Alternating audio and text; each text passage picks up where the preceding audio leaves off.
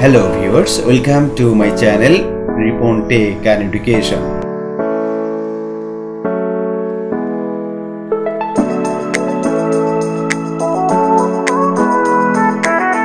Hello viewers আজকে আমরা social media ফেসবুকে দশটি গুরুত্বপূর্ণ টপিকস নিয়ে আলোচনা করব। আর যার সাহায্যে আপনি আপনার ফেসবুক অ্যাকাউন্টকে রাখতে পারবেন হান্ড্রেড পার্সেন্ট সুরক্ষিত। তো শুরু করা যাক। আমাদের সোশ্যাল মিডিয়া ফেসবুককে সুরক্ষিত এবং সেভ রাখার প্রধান সত্যই হচ্ছে স্ট্রং পাসওয়ার্ড তৈরি। আপনারা স্ক্রিনে দেখতে পাচ্ছেন কিছু স্ট্রং এবং কিছু দুর্বল পাসওয়ার্ডের নমুনা। স্ট্রং পাসওয়ার্ডগুলোর মধ্যে যদি আপনি কিছু ক্যাপিটাল লেটার কিছু স্মল লেটার কিছু নাম্বার ডিজিট এবং সেই সঙ্গে কিছু চিহ্ন ব্যবহার করে থাকেন, তাহলে আপনার পাসওয়ার্ডটি অনেক বেশি স্ট্রং হবে। আপনি কি জানেন, মার্ক জুকারবার্গের ফেসবুক আইডিও হ্যাক হয়েছিল দুর্বল পাসওয়ার্ডের কারণে? আজকের এই ভিডিও শেষে আপনাদেরকে আমি মার্ক জুকারবার্গ ব্যবহার করা সেই পাসওয়ার্ডটি দেখাবো। আপনার ফেসবুক আইডিকে সুরক্ষিত রাখা দ্বিতীয় টিপস হচ্ছে আপনার ফেসবুক আইডির নাম এবং অন্যান্য তথ্য, জাতীয় পরিচয়পত্র এবং সার্টিফিকেট অনুযায়ী হতে হবে।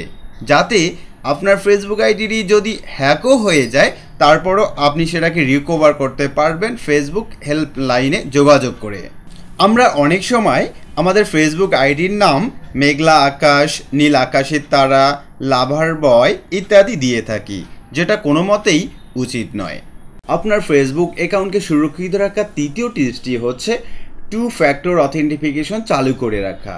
আর এটি করার জন্য আপনি আপনার মোবাইল অ্যাপসে যাবেন যাওয়ার পর উপরের ডানে থ্রি লাইনে ক্লিক করে স্ক্রল করলে নিচে সেটিংস অ্যান্ড প্রাইভেসি নামে একটি অপশন পাবেন। তারপর আপনি সেটিংসে যাবেন, যাওয়ার পর সিকিউরিটি অ্যান্ড লগ ইন অপশনে যাবেন এবং সেখানে ইউজ টু ফ্যাক্টর অথেন্টিফিকেশন নামে একটি অপশন পাবেন। এরপর তিনটি অপশন পাবেন, এর মধ্য থেকে টেক্সট মেসেজ সিলেকশন করার পর কন্টিনিউ করবেন। এরপর আপনার মোবাইল নাম্বার চাবে, সেই মোবাইল নাম্বারটি দিয়ে কনফার্ম করলে একটি কোড পাবেন। এই কোডটি পূরণ করে কন্টিনিউ করলে টু ফ্যাক্টর অথেন্টিফিকেশন আপনার চালু হয়ে যাবে। টু ফ্যাক্টর অথেন্টিফিকেশন চালু করার সুবিধা হলো এই, আপনি নতুন করে যতবার আপনার ফেসবুক অ্যাকাউন্টে লগ ইন করবেন, ততবারই আপনার মোবাইলে এস যাবে এবং সেই এস দিয়ে কনফার্ম করতে হবে। আজকের ভিডিও চতুর্থ টিপসটি হচ্ছে অ্যাপ বা ওয়েবসাইট পারমিশনে ফেসবুক আইডি ব্যবহার না করা। অনেক থার্ড পার্টি অ্যাপস আছে যেগুলো চালু করার জন্য আপনার ফেসবুক আইডি লগ করতে হয়। ওই অ্যাপগুলো আপনার বিশ্বাসযোগ্য না হলে আপনার ফেসবুক আইডি দিয়ে সেগুলো লগ না করাই ভালো। এতে আপনার আইডি হ্যাক হওয়ার সম্ভাবনা থেকেই যায়। আজকের ভিডিওর পঞ্চম টিপসটি হচ্ছে আপনার ফেসবুক আইডিতে অরিজিনাল মোবাইল নাম্বারটি ব্যবহার করা এবং সেখানে আপনার যে জন্ম তারিখ এবং জন্ম সালটি দেওয়া আছে সেগুলো অনলি মি করে রাখা। তাতে আপনার ফেসবুক আইডি অনেকটাই সুরক্ষিত থাকবে। আজকের ভিডিওর ছয় নম্বর টিপসটি হচ্ছে আননোন লিঙ্কে ক্লিক না করা। কোনো একজন অপরিচিত ব্যক্তি যদি আপনাকে একটি লিঙ্ক পাঠিয়ে থাকেন এবং আপনি যদি তাকে না চিনে থাকেন কিংবা আপনি যদি তাকে বিশ্বাসযোগ্য মনে না করেন, তাহলে অবশ্যই সেই লিঙ্কে আপনি ক্লিক করবেন না।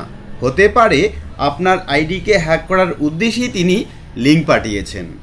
আজকের ভিডিওর সাত নম্বর টিপসটি হচ্ছে প্রিভিয়াস সেট বা অ্যাপ থেকে লগ আউট করা। এজন্য আপনি পূর্বের ন্যায় ফেসবুক অ্যাপ থেকে উপরের ডানে থ্রি লাইনে ক্লিক করবেন। তারপর স্ক্রল করলে সেটিং অ্যান্ড প্রাইভেসি অপশন থেকে সেটিংয়ে ক্লিক করবেন। তারপর সিকিউরিটি অ্যান্ড লগ ইনে যাবেন।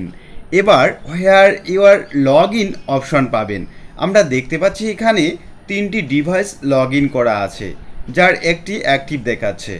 অন্য দুটি আপনি ইচ্ছে করলে log out of all session A click করে একসাথে লগ আউট করতে পারবেন অথবা থ্রি ডটে ক্লিক করে একটি একটি করে লগ আউট করতে পারবেন। আপনার ফেসবুক আইডিকে সুরক্ষিত রাখার জন্য আজকের অষ্টম টিপসটি হচ্ছে রিকভারি ফ্রেন্ড চুজ করা। আপনি আপনার মোবাইল থেকে পূর্বের ন্যায় সিকিউরিটি অ্যান্ড লগ ইন অপশনে যাবেন। তারপর আপনি choose friend to contact if you get lock আউটে ক্লিক করে তিন থেকে পাঁচজন ট্রাস্টেড পার্সনকে সিলেকশন করে নেবেন। যাদের আইডি ব্যবহার করে আপনি পরবর্তীতে আপনার আইডিটি রিকভার করতে পারবেন। আজকের ভিডিওর নয় নম্বর টিপসটি হচ্ছে সোশ্যাল মিডিয়াতে দাদাগিরি না করা। সোশ্যাল মিডিয়াতে আপনার যেমন স্বাধীনতা আছে তেমনই কিছু দায়বদ্ধতাও আছে। আপনি ইচ্ছে করে কারও স্ট্যাটাসে গালিগালাজ বা আপত্তিকর মন্তব্য করতে পারেন না। তাতে তিনি আপনার প্রতিদ্বন্দ্বী হয়ে আপনার ক্ষতি সাধন করতে পারেন।